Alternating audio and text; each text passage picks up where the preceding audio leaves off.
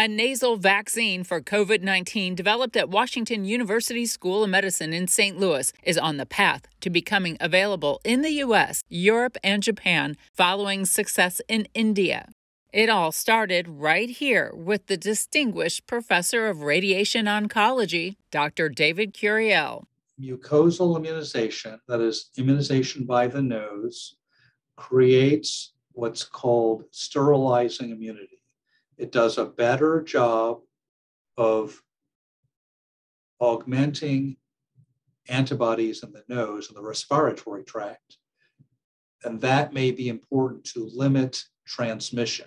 Curiel had long worked on using harmless, deactivated adenoviruses for the delivery of gene therapies to treat cancer and other diseases. With the pandemic, the new technology in the form of a COVID 19 nasal vaccine all came together for Curiel as he worked alongside co inventor Dr. Michael Diamond, professor of medicine, a professor of molecular microbiology, and of pathology and immunology. The research team included members of the two researchers' laboratories. Together, they developed the vaccine. Our agent is a simian adenovirus, that is, an adenovirus from the chimpanzee that encodes a SARS CoV 2 spike protein antigen that's given intranasally.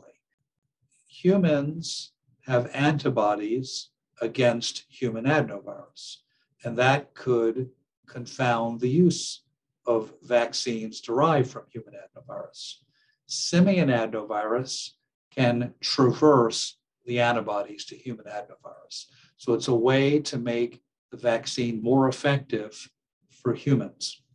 Since the vaccine is delivered through the nose, right where the virus enters the body, Curiel says the nasal delivery route creates a more widespread immune response than an injection by destroying coronavirus already present, preventing infection, and preventing transmission of COVID 19 to others. It does a better job of augmenting immunity in the respiratory tract which is the place the SARS CoV 2 virus attacks and grows. Bharat Biotech in India licensed the technology from Washington University in St. Louis, then refined the delivery device and scaled up manufacturing. The vaccine was first approved for emergency use in India in September, with expanded coverage in November. In late November, it was also approved to be used as a booster.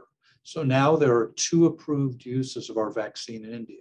And now the university has licensed the technology to Ocugen, a U.S. based biotechnology company, for the development, manufacturing, and commercialization of the vaccine. Ocugen is working with us to put together an FDA package as quickly as possible to get approval so they can do trials here towards approval. With the recent success, Dr. Curiel has high hopes for the nasal vaccine. It may end up being an agent that's much more user friendly and may end up being the vaccine of choice. So I think stay tuned.